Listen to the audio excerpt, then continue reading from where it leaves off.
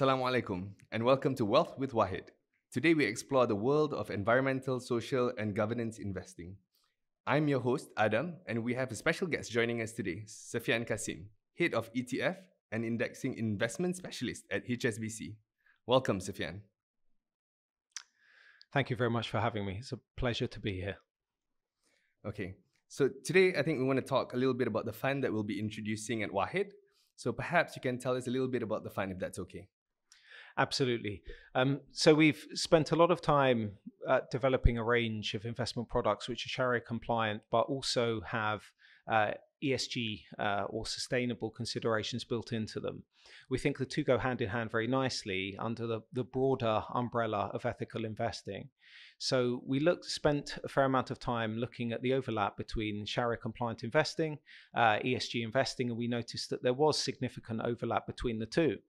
So both uh, seek to screen uh, portfolios of or universes, if you like, of a universe of underlying equities according to um, uh, their their characteristics as defined by uh, you know social criteria, governance criteria, environmental criteria.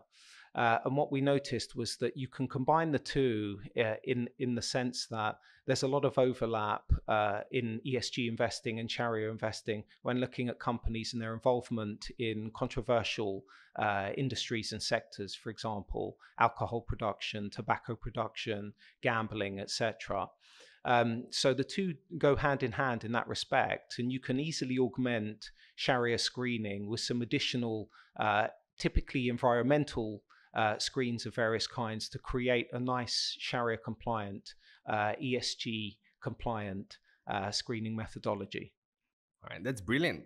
Um, could you tell me a little bit in terms of the fund name? What exactly is it called in terms of investing into the fund? Of course, absolutely. So it's called the HSBC MSCI Emerging Markets Islamic ESG UCITS ETF, which is a long name, yeah. I know. Um, but hopefully, everything you need to know is in the name. Okay, brilliant. Um, and in this fund in itself that you are going to be launching, what specific asset class would that be under?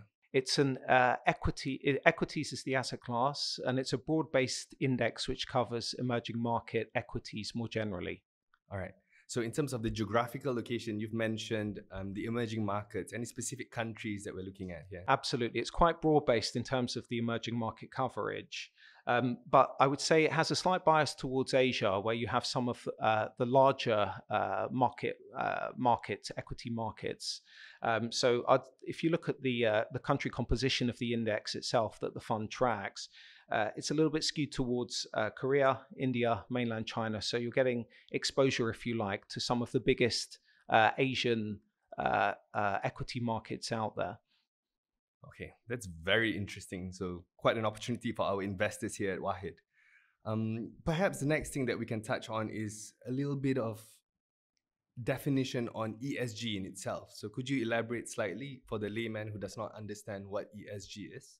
Sure thing. So ESG investing has really taken hold in Europe, and that it has um, many different dimensions to it, and people think of it in different ways. So uh, many investors that look for ESG screened uh, products of various kinds or funds which have ESG considerations built into them are primarily focused on the environmental part. Uh, others um, uh, have different ideas and invest in uh, ESG screen products for, for different reasons. If it's an equity index, for example, looks at the companies, uh, how the companies stack up from an ESG scoring perspective. Do they have good ESG scores? So uh, we're talking about using ESG scores, where ESG scores assess companies on their environmental credentials, their social credentials, i.e., the impact they have on communities, their governance credentials, how they treat their employees, etc. Um, and they rank companies in accordance with their um, with with uh, their credentials in that regard, and then the, these funds look to use those scores um, to sh- uh, shift the weight, if you like, within the underlying indices. All right, so that's pretty cool. So just to make sure I understand it correctly, then the ESG stands for environmental, social, and governance. So essentially, any investors who do invest in ESG products are essentially investing responsibly. Exactly. Exactly. All right, great.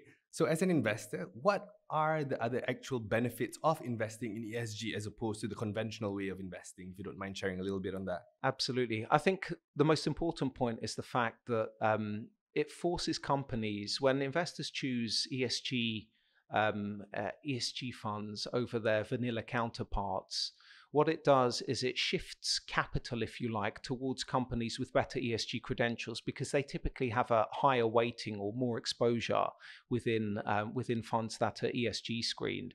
So what you're essentially doing is you're shifting capital towards companies with better ESG credentials.